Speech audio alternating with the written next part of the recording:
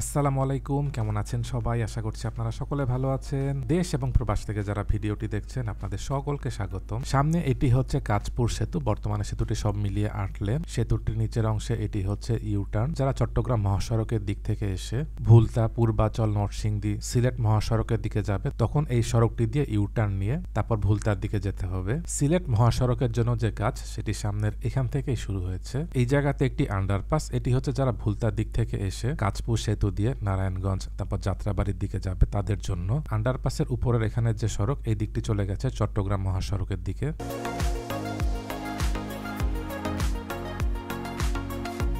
ঢাকা সিলেট মহাসড়কের কাজটি সামনের এখান থেকে শুরু হয়েছে। এই জায়গাটি হচ্ছে কাজপুর এখান থেকে সিলেট পর্যন্ত মহাসড়কের যে কাজ হচ্ছে এটি দৈর্ঘ্য হবে দুইশো নয় দশমিক তিন কিলোমিটার। এই প্রকল্পের অবস্থান নারায়ণগঞ্জ, নরসিংদী, কিশোরগঞ্জ, ব্রাহ্মণবাড়িয়া, হবিগঞ্জ, মৌলভীবাজার এবং সিলেট জেলা।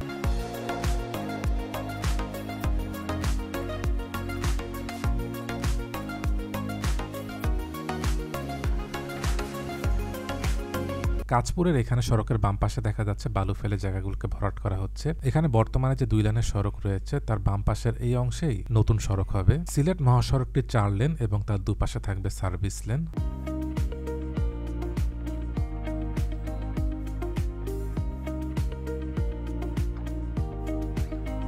ঢাকা সিলেট মহাসড়কের হবিগঞ্জে অনেক শিল্প কলকারখানা গড়ে উঠেছে। সেখানে আরও নতুন নতুন শিল্প কলকারখানাও গড়ে উঠছে। সেখানে যেসব ফ্যাক্টরি রয়েছে, সেখানের উৎপাদিত পণ্য বাংলাদেশের বিভিন্ন জায়গায় যাচ্ছে। সেই সাথে বেশ কিছু পণ্য বিদেশেও রপ্তানি হচ্ছে। আর এই জাতীয় মহাসড়কটিতে যানবাহনের চাপ আগের থেকে অনেক বেড়েছে। এখানে যেসব চৌরাস্তার মোড় এবং বাজার রয়েছে, এখানে দেখা যায় বাসগুলো যত্রতত্র দাঁড়িয়ে যায়। এর কারণেও এই সড়কটিতে যানজট লেগে যায়। গণপরিবহনের শৃঙ্খলা আনাটাও জরুরি।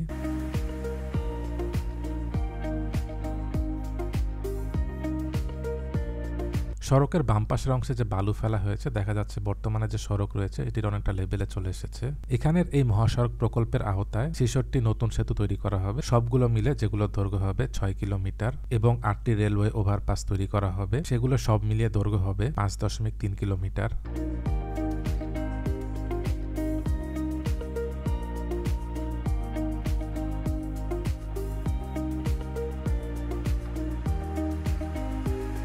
ভৌগোলিকভাবে স্ট্র্যাটেজিক লোকেশনের কারণে ঢাকা সিলেট মহাসড়কটি Asian highway A H one O A H two BIMSTEC corridor এবং SAARC highway corridor S H C five এর একটি গুরুত্বপূর্ণ অংশ।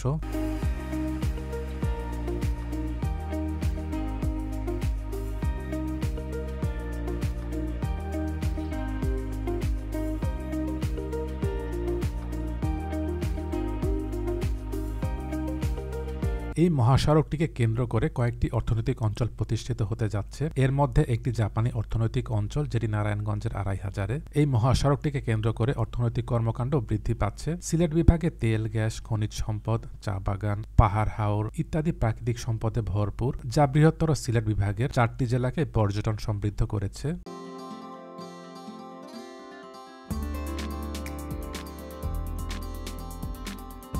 জানা গেছে, প্রকল্পটির আওতায় ব্রাহ্মণবাড়িয়া সরাইল বিশ্ব রোড, শাহবাজপুর, রামপুর, বীরপাশা এবং হবিগঞ্জ জেলার মাধবপুর উপজেলাধীন আন্দিউরা ও বেজুরা স্থানে যেসব জায়গায় বিপজ্জনক পাক রয়েছে, সেগুলোকে সরলীকরণের মাধ্যমে সড়কটিকে নিরাপদ করা হবে।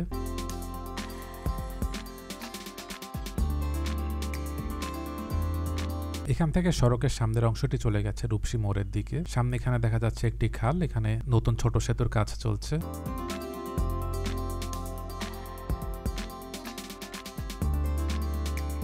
এদিকের অংশে দেখা যাচ্ছে সামনের দিক পর্যন্ত বেশ খানিকটা জায়গায় সড়কের পাশে বালু ফেলা হয়েছে। এই অংশটিও ঢাকাতে প্রবেশ এবং বের হওয়ার একটি গুরুত্বপূর্ণ রুট।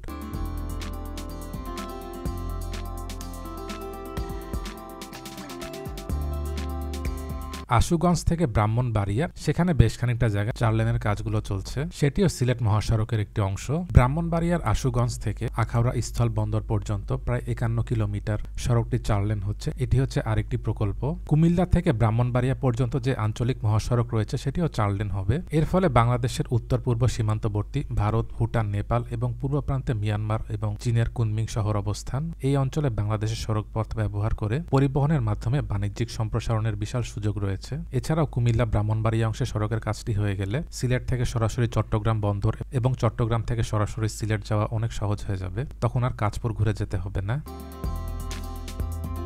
এবার চলে এসেছি তারাবো গোল চত্বরের দিকে। এখান থেকে সড়কের বাম দিকের অংশটি চলে গেছে সুলতানা কামাল সেতুর দিকে, যেটি ড্যামরা হয়ে যাত্রাবাড়ির দিকে চলে গেছে। যাত্রাবাড়ি থেকে ড্যামরা সেই অংশ সড়কটিকে চার লেন এবং তার পাশে সার্ভিস লেন করা হয়েছে। সড়কটিকে অনেকটা এক্সপ্রেসওয়ের মতো করা হয়েছে। সেটিরও ভিডিও দিয়েছিলাম। যারা সেই ভিডিওটি দেখেননি, সেই ভিডিওটির লিঙ্ক নিচে ডেসক্রিপশনে দিয়ে দিচ্ছি। আপনারা চাইলে দেখে নিতে পারেন।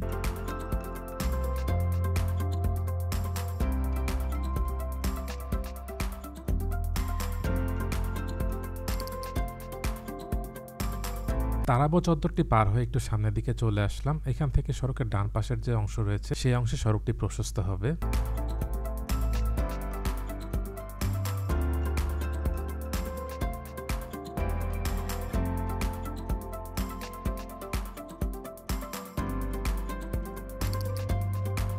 সড়কের বাকি অংশটি এখান থেকে ভুলতার দিকে চলে গেছে। কাজপুর থেকে ভুলতা এই অংশের দৈর্ঘ্য হচ্ছে এগারো দশমিক চার কিলোমিটার। অনেকগুলো প্যাকেজের আওতায় এই সিলেট মহাসড়কের কাজটি করা হচ্ছে।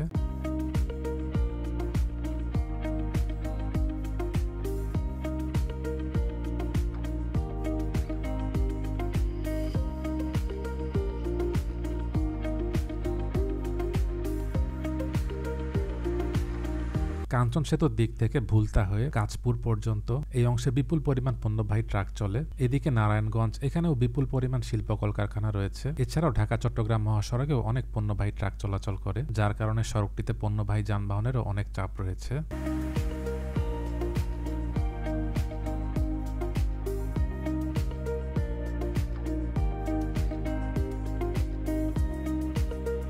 এবার চলে এসেছি রূপসী মোড়ের দিকে। এখানে সড়কের বাম দিকের অংশটি চলে গেছে। মুরাপাড়া, কাঞ্চন সেতু, রূপগঞ্জের দিকে। এদিক দিয়েও জলসিঁড়ি, পূর্বাচলের দিকেও যাওয়া যায়।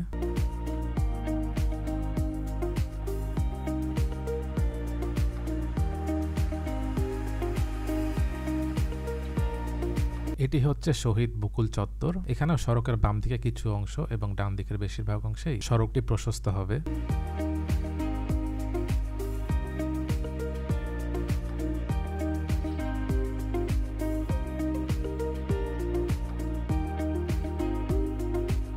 এবার চলে এসেছে ভুলতার দিকে। সামনে এটি হচ্ছে ভুলতা ফ্লাইওভার।